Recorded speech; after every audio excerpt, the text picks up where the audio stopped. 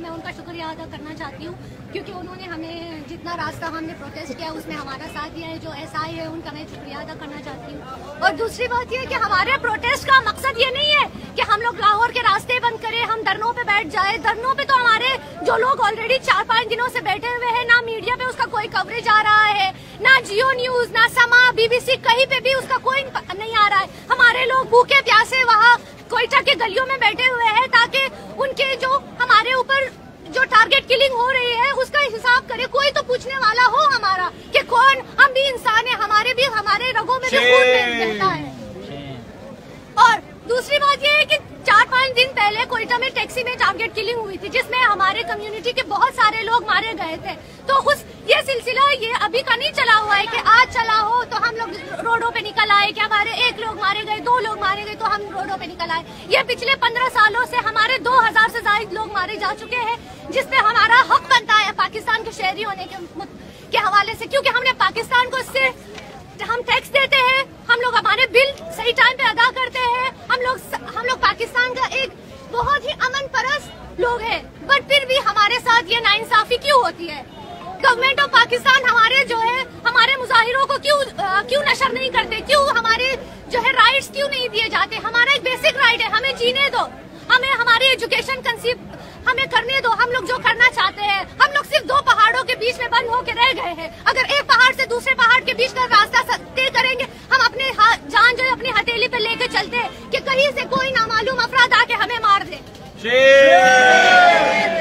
हमारे साथ वाले इंसान से खौफ उठता है कि कहीं अभी ये अपनी चादर के नीचे से गन निकाल के हमारे ऊपर फायरिंग कर देगा। ये रोज का मामूल है। रोज का ये सिर्फ़ हमारे साथ नहीं हो रहा है ये हमारे बलोच भाई के साथ हो रहा है पठान भाई के साथ हो रहा है हर किसी के साथ हो रहा है। बस ये फ़र्क इतना है कि हम एक माइनॉरिटी कौम है हमारी तादाद ही उतनी नहीं है जितनी लाशें हम उठाते हैं। एक घर से तीन चार शहीद तो रोज का मामूल बन चुका है। ये मालूम है। हम सबको मालूम है ये जो ना मालूम है हम सबको मालूम है ये जो ना मालूम है हम सबको मालूम है बंद करो बंद करो हजारा किलिंग बंद करो बंद करो बंद करो हजारा किलिंग बंद करो पाकिस्तान की आर्मी में हमारे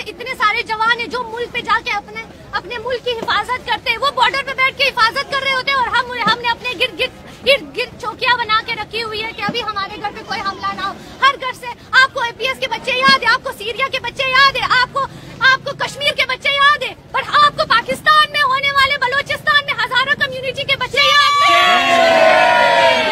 आपको याद नहीं है कि जब उनके बच्चे धमाके में झुलस जाते हैं उनकी माए उनको पकड़ के बैठी हुई होती है आपको याद नहीं है वो चीज़ आपको कब याद आएगी आपको हमारे हकूक कब याद आएँगे हम भी इंसान है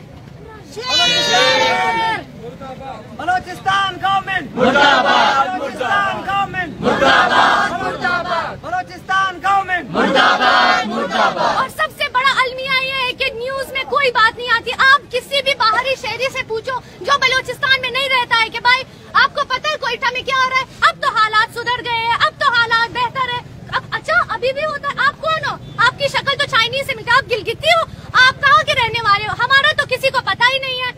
क्यों नहीं पता है हमारे जब हमारे जनरल साहब ने 1965 की वॉर में हमारे पूरे पाकिस्तान को बचाया था तब तब सबको याद था कि जनरल मोहम्मद मूसा खान नाम का भी कोई इंसान शख्स है और हम हमें चिंगी चिंके पता नहीं क्या क्या कह के बुलाते हैं क्या हम पाकिस्तानी नहीं हैं? और क्या हमें जीने का हक नहीं है हमें सिर्फ़ इतना चाहिए कि हमारे बेसिक राइट्स हमें दी जाए